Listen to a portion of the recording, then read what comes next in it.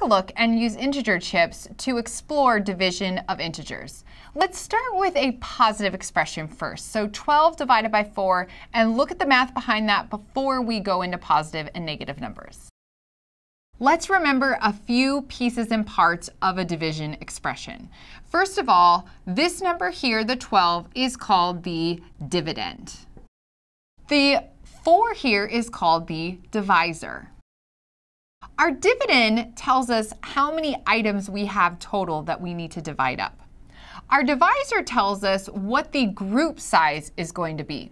So in other words, I need to make groups that have four positives in each one, and I need to figure out how many groups do I need. Let's take a look at the integer chips for some help modeling this problem. You can see that I've put on the board 12 positive chips. And again, I need to put them into groups of four. So I'm going to make a group of four here, a group of four here, a group of four here, and you can see that I end up with three groups. So 12 divided by 4 is the same as 3. I can put this in symbolic form and check my answer by showing that um, repeated subtraction. So again, I started with 12 and I took off the first group of 4. That left me with 8. Then I had 8 and I took off another group of four. That left me with four. There was my, my other group of four. Then I have four, and again, I'm going to make one final group of four, and I am left with nothing left over. You can see that I have one, two, three groups. Now let's make this a little trickier. Let's do negative 12 divided by negative 4. Right away, I notice that my dividend is negative 12. So I'm envisioning that I'm going to have 12 negative integer chips on the board. I'm going to show you that in just a minute.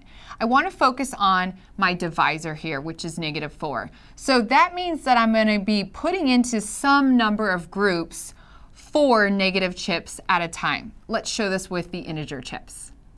So you can see I've got negative 12 on my board, and I'm going to make one group of four negatives right here.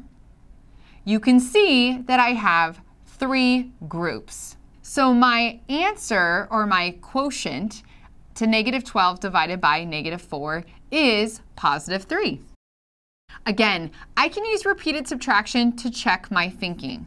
I'm going to start with negative 12, and I'm going to subtract out negative 4. This leaves me with negative 8. There's one group of my negative 4. Then I'm going to start with negative 8. I'm going to subtract out my negative 4, which is going to leave me with negative 4. There's my second group.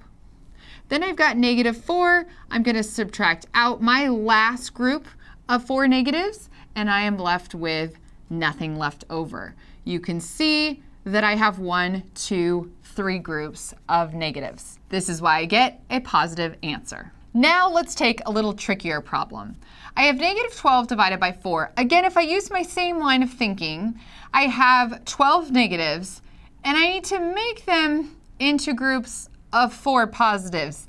My thinking and my modeling starts to break down just a little bit when I do this.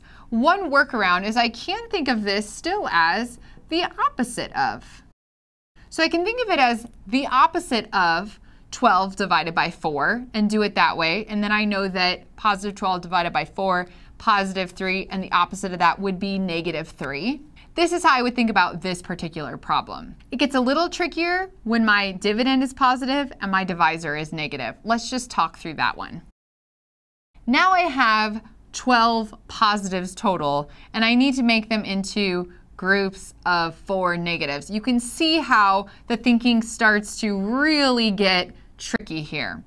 One workaround for this is if students understand and have modeled with integer chips on multiplication, they can actually tie this to the division. So if they have figured out and through that repeated reasoning that, you know, I can check my division problem by multiplying uh, the quotient by the divisor to get the dividend. So negative 3 times 4 gives me negative 12. I can do it the same way here. So in other words, I'm thinking what number times negative 4 would give me a positive 12. And obviously then I can figure out that if I have negative 3 times negative 4, I get positive 12. The main idea is that students are understanding that, again, these multiplication and division of integer rules don't just appear out of nowhere. It's not just something we tell them and they just need to blindly believe it. We want them to be able to understand the math conceptually behind it.